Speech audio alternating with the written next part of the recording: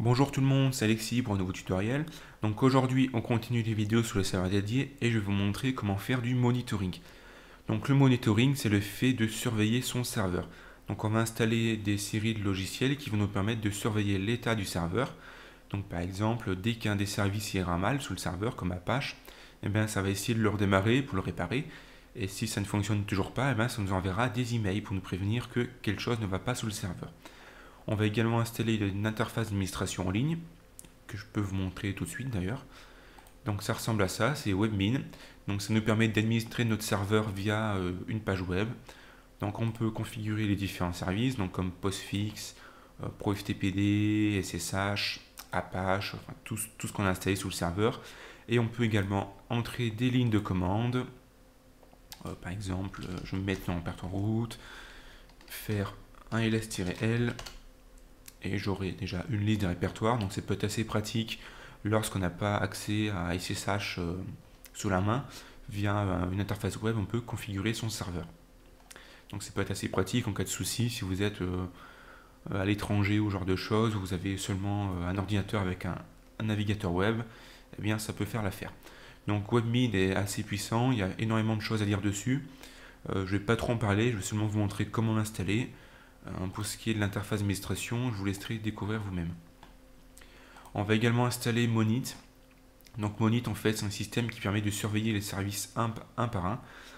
Et en fait, euh, on, surveille les services en faisant des fichiers de configuration. Donc c'est assez puissant comme outil. Donc là, par exemple, je surveille tous les services qu'on a installés dans les vidéos précédentes.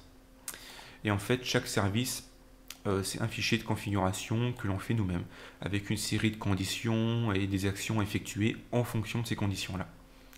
Et ça nous permet également de recevoir des emails en cas de problème. Donc c'est assez pratique et assez connu. Et puis en bonus, je vous montrerai peut-être comment installer euh, Moonim, pardon, qui est en fait un système qui permet, je vais vous montrer ça également, d'avoir des, graphiques pour euh, surveiller la charge du serveur. Voilà, donc je vais me connecter sur mon compte, juste pour vous montrer à quoi ça ressemble. Donc voilà à quoi ressemble Monim. Et en fait, ça permet de surveiller les différents processus, de voir la charge du serveur, l'utilisation du disque, la latence, ce genre de choses. Et puis voilà, je pense que ça sera déjà pas mal pour un tuto sur le monitoring. Donc en avant, on va commencer par installer Monit. Donc vous ouvrez un terminal, vous mettez mode admin, comme d'hab, en SSH. On va installer Monit, donc pour ce faire, vous faites apt-get install Monit. Une fois que Monit est installé, vous avez une petite ligne qui vous indique que Monit ne sera pas lancé tant qu'on ne l'aura pas configuré. Donc on va aller configurer ça tout de suite. Donc vous faites vi slash etc slash default slash monit et on va activer monit. Ici la ligne 7, on va remplacer le 0 par un 1 et enregistrer et ça va nous permettre de lancer Monit automatiquement. Ensuite, on va aller configurer les différents services parce qu'en fait sur Monit, euh, chaque service qu'on surveille est configuré via une petite configuration indépendante. Donc on va se placer dans le répertoire slash etc slash monit. Si je fais un ls, vous remarquez que j'ai deux fichiers. Donc j'ai un fichier monit.rc et un dossier conf.d. Dans le dossier conf.d, on aura tous les fichiers de configuration pour Monit. Et le fichier monitorc en fait contient des petites choses intéressantes parce qu'en fait ça contient dans les commentaires une sorte de mini tutoriel pour vous apprendre à configurer les différents services. Donc je vous conseille de lire les commentaires qui est ici. Ça, vous aurez déjà une bonne base pour configurer vous-même vos services.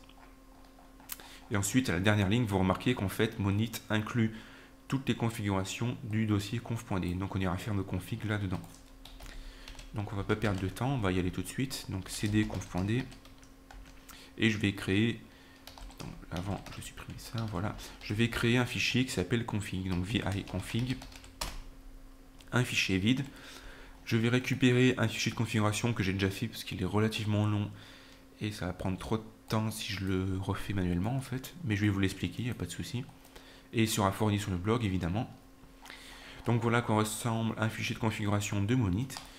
Je vais enregistrer et quitter histoire d'avoir la coloration syntaxique. Voilà. Donc voilà à quoi ressemble un fichier de config. Donc en fait, comme je vous l'ai dit, chaque service est configuré indépendamment les uns des autres. Donc là, par exemple, j'ai la petite config pour Apache. En bas, j'aurai la config pour MySQL, FTP, enfin tous les services que l'on désire surveiller. Donc je vais expliquer comment on fait ce genre de config. Et comme je vous l'ai dit, si vous souhaitez en apprendre davantage, je vous conseille de lire les, commentaires qu'il y a dans le fichier monit.rc que je vous ai montré précédemment. Donc comment ça fonctionne? En fait, monit, on va définir ce que c'est qu'un cycle pour monit.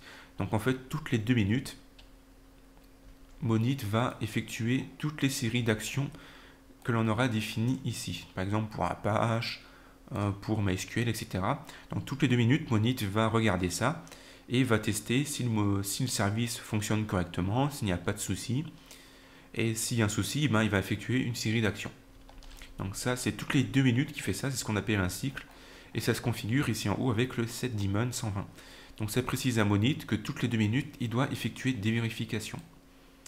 Parce que 120, c'est 120 secondes, hein, ça fait deux minutes.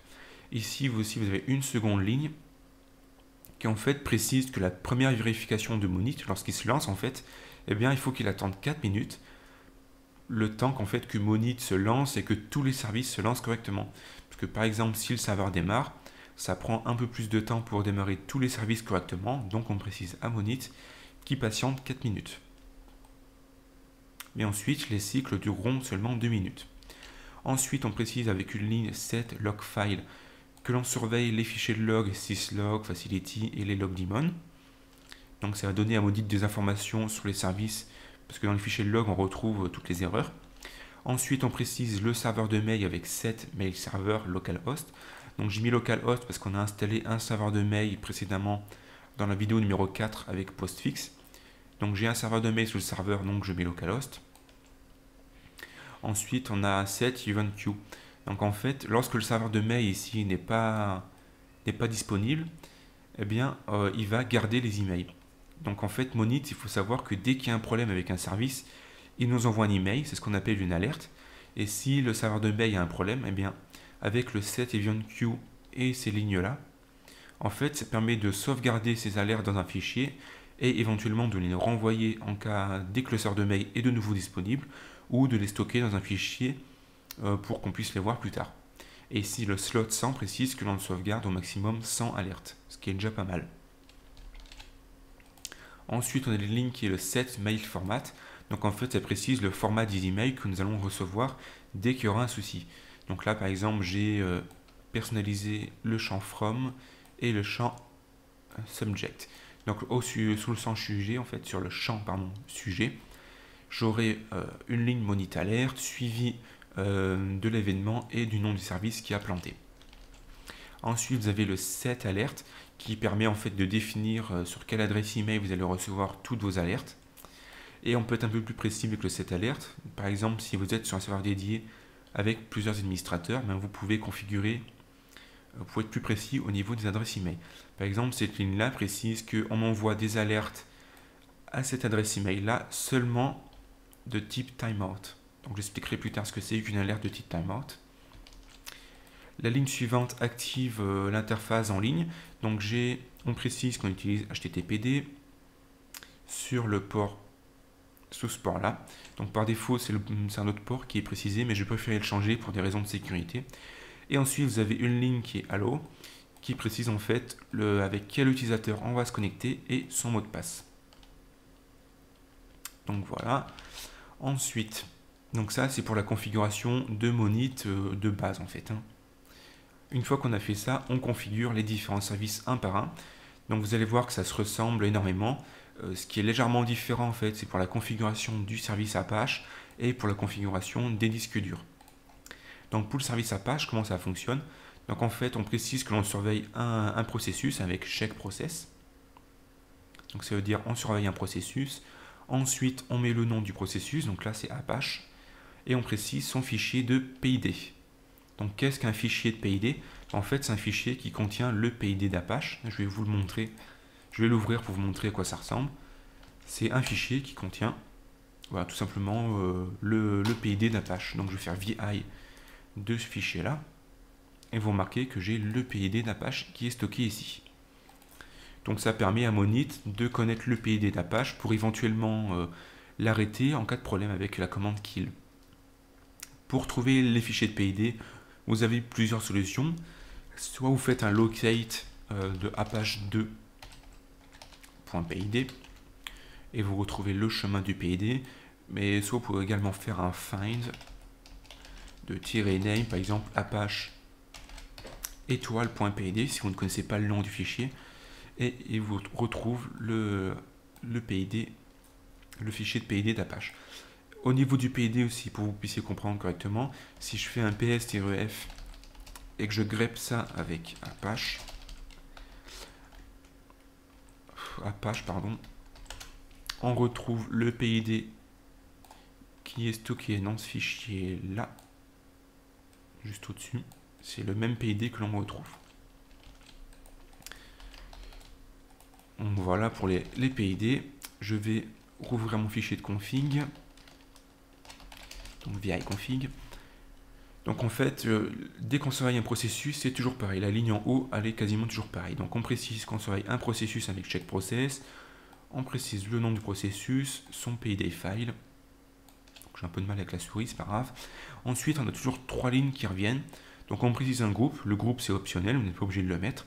Et on précise toujours start programme et stop programme qui correspondent en fait aux lignes de commande à taper pour démarrer le service ou pour l'arrêter. Ici, vous remarquez que j'ai juste une petite particularité c'est que je précise qu'il faut attendre environ 30 secondes le temps qu'Apache se démarre correctement. Et ensuite, on a toujours une petite série de tests. Donc, on a par exemple un if qui veut dire si. Donc, si le CPU est supérieur à 70% à cause d'Apache pendant deux cycles, donc deux cycles, ça correspond en fait à 4 minutes. Hein. Un cycle, c'est une minute, donc deux cycles, 4 minutes. Eh bien, il fait une alerte. Une alerte, c'est un envoi d'email. Si le CPU est supérieur à 90%, pendant 5 cycles, eh bien on redémarre carrément le service. Ça veut certainement dire qu'il a un souci en fait, donc on le redémarre. Si le nombre d'enfants d'Apache dépasse 250, ben, ça veut également dire qu'il a un problème, donc on le redémarre.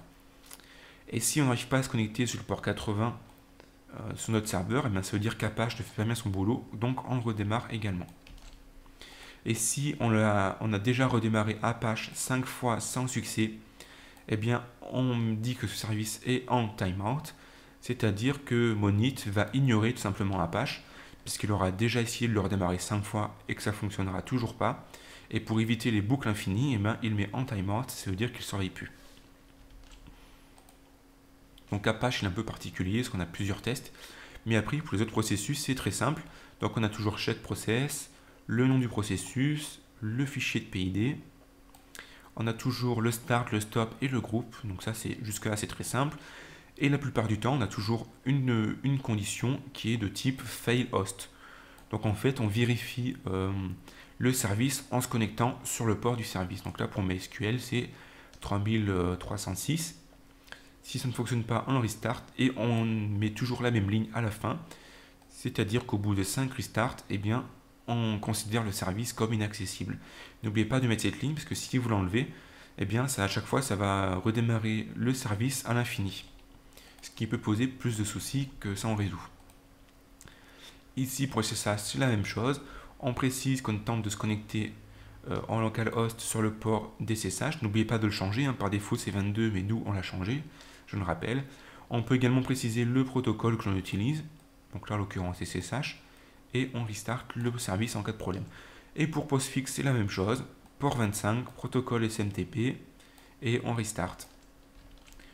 Pour FTP, la même chose. Ce qui change à chaque fois, en fait, c'est le numéro de port. Éventuellement, le protocole.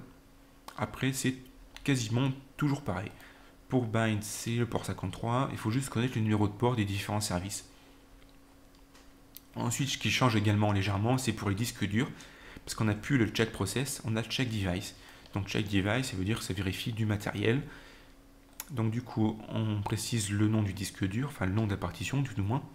Et si on précise son, chemin, donc généralement c'est toujours slash dev slash sda1, on précise que ça appartient au groupe système. Et on, là, on va seulement tester euh, si en fait le, disque dur euh, est surchargé. Donc s'il a plus de 85%, on fait une alerte email. Et s'il a plus de 90%, j'exécute le script que j'ai créé moi-même qui est situé ici. Donc qu'est-ce qui fait ce script-là? Ben, Je suis parti du principe que si mon disque dur est plein, ça vient probablement du fait que mon système de backup euh, foire un peu en fait. Parce que j'expliquais dans la vidéo précédente que dans mon répertoire de backup, j'ai seulement 10 Go disponibles et que les backups prennent énormément de place. Donc du coup, ici, si j'ai 90% du disque qui est utilisé, j'ai fait un script qui déplace tous mes backups dans mon répertoire slash home où j'ai 900 Go de disponible. Et la même chose en bas, je surveille seulement pour ma seconde partition, je surveille seulement si le disque dur est plein ou pas. Et je fais une alerte par email. Et voilà pour la configuration de, de euh, Monit. Pardon. Donc c'est plutôt simple à, configurer une fois qu'on a compris le principe. Euh, ce qui est un peu compliqué, c'est peut-être le début qu'il y ici. Éventuellement Apache, parce qu'on ne sait pas trop comment faire. Et les disques durs, parce qu'il faut trouver le, check device. Mais bon, vous avez énormément de tutos sur internet là-dessus. Vous avez sur le site officiel, vous avez des exemples de configuration, comme j'ai fait ici. Mais de toute manière, je vais vous donner ma, configuration qui est là. Et voilà, donc j'enregistre le fichier. Ensuite, il faut qu'on démarre Monit. Donc pour le démarrer, ce qu'on peut faire déjà, c'est vérifier que notre fichier de config est bien fait. Donc pour cela, en fait, on fait slash etc slash init.d slash monit et on fait syntaxe pour vérifier la syntaxe des fichiers de config. S'il n'y a pas d'erreur, c'est que c'est bon. Une fois que ça c'est fait, on fait start pour démarrer monit. Et vous pouvez également faire un monit, la commande monit-v, pour bien vérifier que euh, monit euh, a bien pris en compte vos configurations. Une fois que vous avez fait ça, je vous conseille de faire un tour dans votre firewall. Donc si vous avez suivi mon tutoriel, vous devez avoir un fichier qui s'appelle firewall en slash tc slash init.d. Donc je vais aller éditer mon firewall. Et vous devez bien vérifier en fait que vous débloquez le port pour se connecter à l'interface d'administration de Monit. Et vous pouvez également en profiter pour débloquer euh, Webmin sur le port 10 000, parce qu'on va l'installer juste après. Donc une fois que vous avez démarré Monit, en fait, vous devez patienter 4 minutes, parce qu'en fait, dans mon fichier de config, euh, si je réouvre mon fichier de config qui est là, on a une ligne qui précise qu'il faut mettre Monit en poste pendant 4 minutes au début, le temps que tous les services se démarrent. Par conséquent, si j'essaie de me connecter sur l'interface d'administration en ligne, ça ne fonctionnera pas pendant 4 minutes. Donc il faut patienter pendant ce temps-là. Donc voilà, j'ai patienté pendant un peu plus de 4 minutes et du coup j'ai accès à l'interface d'administration de Monit.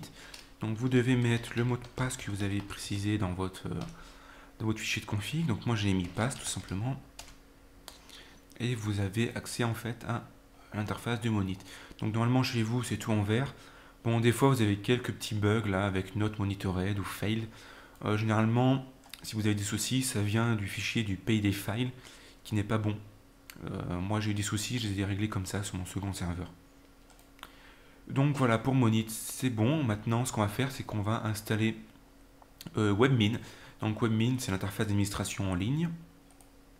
Donc pour installer WebMin, en fait, c'est un peu, moins simple, on va dire, parce que WebMin n'est pas, euh, n'est pas par défaut dans les dépôts officiels. Donc il faut ajouter un répertoire dans la liste des dépôts. Donc on va aller dans slash etc slash apt slash source.list comme ceci. Donc normalement vous avez quelque chose de similaire à ce que j'ai. Donc là en fait c'est les dépôts officiels de Debian, euh, je, sauf la fin peut-être ici. Ça vous ne devez pas l'avoir. Donc je vais l'effacer parce que j'avais essayé de faire quelque chose sur le serveur là. Et vous allez copier les mêmes lignes que moi en fait, qui vont permettre d'ajouter le dépôt pour Webmin. Voilà, comme ceci. Ensuite, vous faites échappe, vous enregistrez le fichier, vous faites apt-get update pour mettre à jour la liste des paquets disponibles comme ceci.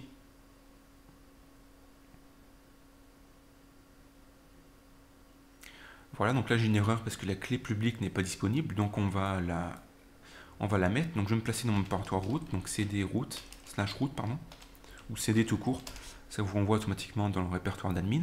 Et pour récupérer la, la, clé euh, d'authentification, vous devez faire un wget de cette URL. Donc là, c'est assez rapide, j'espère que vous avez vu. Donc je vais juste le, souligner, parce que sinon c'est assez lisible. Donc vous allez faire un wget de cette clé-là. Voilà. Comme ça, vous récupérez la clé qui est dans votre répertoire personnel hein, maintenant, du coup. Et vous devez faire un apt, apt key add. Et vous mettez le nom de la clé, comme ceci. je vais faire un zoom. Comme ça, du coup, euh, le dépôt va être authentifié et sécurisé. Donc, du coup, on peut refaire un apt-get update. Et normalement, j'aurai plus de soucis en bas au niveau des clés. Voilà. Donc, du coup, maintenant, je peux faire apt-get install. Je vais faire un clear avant parce que c'est pas très lisible. Donc, apt-get install euh, webmin, tout simplement. Et l'avantage euh, de cette méthode avec les dépôts, c'est que vous aurez accès aux mises à jour facilement. Donc, il dit que ça va prendre à peu près 100, 100 mégaoctets. Donc on fait oui et on patiente pendant que ça s'installe. Donc voilà, l'installation de Webmin c'est terminé. Donc il vous dit que vous pouvez vous connecter à l'interface d'administration de Webmin avec cette adresse-là et qu'on doit se connecter en tant que route avec le mot de passe de route. Donc c'est bon. Je fais un petit clear. Euh, au passage, vérifiez bien votre firewall que vous avez débloqué le port 10 000. Je leur précise. Euh, j'aurais peut-être dû copier l'adresse. Donc je vais la copier. Donc précise, débloquez bien le port 10 000 de firewall, hein, c'est important. Je vais rouvrir un, un, onglet Firefox et je peux me connecter sur mon webmin sur le port 10 000. Euh, par contre, c'est pas le bon qui me suffit que j'ai pris. Donc voilà, je vais juste me connecter sur le bon cette fois-ci.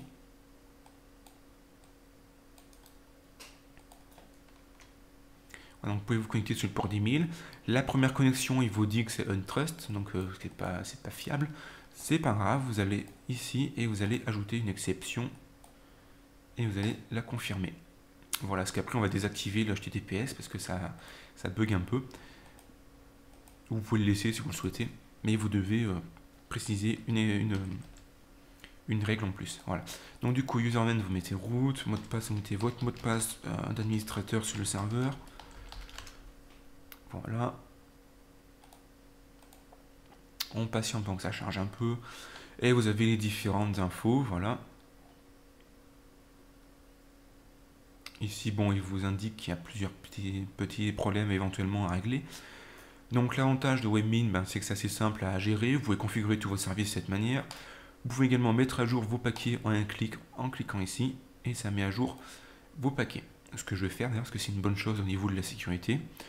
Euh, je vous laisse découvrir un peu l'interface d'administration. Euh, vous avez par exemple la configuration Webmin, vous pouvez changer de thème. Vous avez la configuration des différents services sous le serveur. Vous pouvez entrer des commandes, enfin, c'est vraiment très très complet. Je ne vais pas entrer dans les détails sinon ça prendrait trop de temps.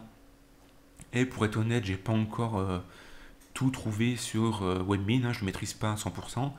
je l'utilise rarement.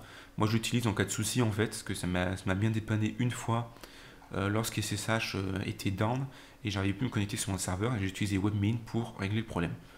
Bon, à part ça, je ne l'ai pas réellement utilisé, mais ça peut être pratique. Donc je vous montre comment faire, vous n'êtes pas obligé de l'installer, hein, c'est optionnel. Donc maintenant, on va installer un autre logiciel qui s'appelle Logwatch, qui permet de surveiller les fichiers log et nous envoyer des emails chaque fois qu'il détecte quelque chose d'un peu bizarre. Donc pour ce faire, vous faites apt-get install là. Installe log watch. Et la configuration, c'est très simple, vous allez voir. Donc voilà, l'installation est terminée, on va le configurer, c'est très simple. Donc vi slash, on va faire un clear pour que ce soit plus clair, voilà. Donc vi slash user, donc slash share. Donc c'est pas dans slash etc slash quelque chose, hein, cette fois-ci, ça change. Donc logwatch default.conf et logwatch.conf. Voilà, et on doit seulement modifier une ligne qui est le mail to. Euh, ouais, sinon je vais rechercher tout simplement, ça va être beaucoup plus simple. Mail to, voilà, route. Vous pouvez euh, changer, mettre votre adresse email, par exemple Gmail, ce que je vais faire, ce que j'aime bien recevoir les emails sur cette adresse-là et vous enregistrer. Et c'est bon pour la watch. Donc ça vous enverra des emails euh, avec des parties du, des fichiers log. Euh, ça vous permet de détecter les éventuelles attaques de pirates. Euh, par exemple, je sais que j'ai réussi à détecter une attaque de Team Brute Force de cette manière. Les scanners de port aussi, on peut le détecter comme ça. Donc vraiment un outil à avoir pour au niveau de la sécurité, ça peut être pas mal. Et enfin, un dernier logiciel bonus qui s'appelle Monim. Donc apt-get install Monim qui permet d'avoir des, graphiques pour la charge du serveur. Voilà, l'installation de Monim c'est terminé. Du coup, ce qu'on va faire, c'est qu'on va aller le configurer, parce que par défaut, euh, l'interface web n'est pas encore accessible. Donc vous allez vous placer dans le dossier slash etc slash monim. Donc faites attention, ça ressemble à monit un peu. je me demande d'ailleurs si les deux ne sont pas liés. Ça ne m'étonnerait qu'à moitié. Donc vous avez différents fichiers de config. Donc vous avez le monim.conf qui est intéressant. Donc vi monim.conf. Voilà. Donc vous décommentez ces lignes-là. Tac. Vous allez changer le HTML dir qui contient en fait le répertoire où va être situé euh, l'interface d'administration de Monim. Donc tac, on change. Vous mettez par exemple slash var slash w slash monitoring comme ceci. On fait échappe 2.wq, on en fait un tour dans slash var slash 3w. Vous avez euh, normalement un dossier monitoring doit se créer, ou alors il faut le créer manuellement. Donc monitoring. Donc on va le créer. Je vais redémarrer Monim pour être bien sûr qu'il prenne la, la configuration en compte. Donc si Monim none, je vais le faire restart comme ceci. Je vais également redémarrer Apache parce que euh, juste pour être sûr qu'il prenne en compte également Monim. Voilà. En redémarrant Apache, petite parenthèse au passage, euh, vous allez recevoir un email de la part de de la part de comment s'appelle? De la part de de ou de ou de Monit vous précisant qu'un service était redémarré. Donc je vais vous montrer ça. Je vais me connecter sur mon adresse email. Donc voilà par exemple à quoi ressemble un email de, de Monit pour préciser que Apache est en timeout, puisque j'ai oublié de le, bien configurer en fait. Et vous avez d'autres emails aussi. Vous avez par exemple cet email qui vous précise que l'instance de Monit a changé. Donc dès qu'on redémarre un service en fait, Monit nous avertit par email. Donc voilà pour la petite parenthèse. Du coup là dans mon dossier monitoring j'aurai si j'ai un peu de change, j'aurai des fichiers qui se seront générés. Donc il faut juste patienter que Monim génère ses premiers fichiers, c'est assez embêtant. Il suffisait de patienter pendant environ 5-10 minutes, je dirais. Donc au passage, j'en ai, profité pour donner euh, le, dossier monitoring qu'il y a ici à Monim avec un chmod euh, change owner monim monim pour donner le dossier pour qu'il puisse écrire dedans en fait. Et du coup maintenant, si je me connecte ici, avec Monim, je vais pouvoir normalement regarder un peu euh, différentes statistiques au niveau de la charge du serveur, du CPU et ce genre de choses. Vous pouvez en profiter également pour le, protéger, ce dossier, avec un htaccess. Euh, c'est assez simple en fait. Je vais euh, vous montrer comment on fait. Donc vous devez faire un fichier htaccess dans le dossier monitoring, histoire de restreindre l'accès. Donc cd monitoring vi.htaccess comme ceci. Vous copiez la même chose que moi. C'était cette partie-là que j'ai oublié en fait. Donc vous précisez euh, qu'on limite, qui fait un mot de passe et que le fichier de mot de passe se situe ici.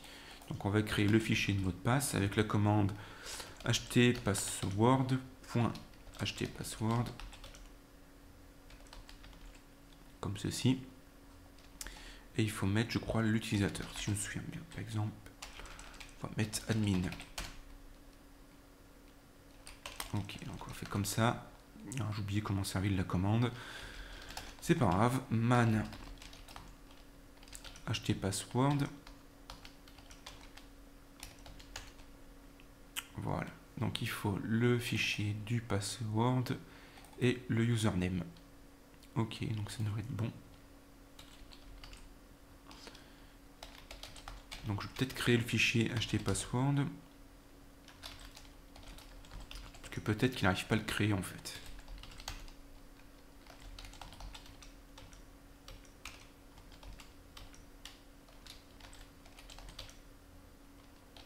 On va mettre, je sais mon admin.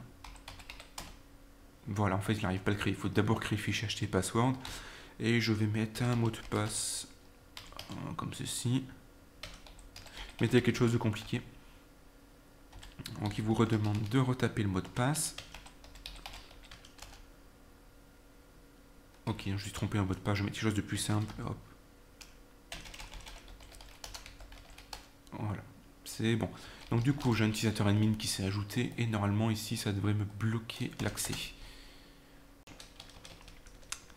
Dans le default, donc cd slash etc slash page 2 euh, cd site available et vous avez un fichier qui s'appelle default avec un all override voilà, c'est bien ce que je pensais. Donc du coup, les htaccess ne sont pas autorisés, donc ça je le mets à all, enfin all, pardon.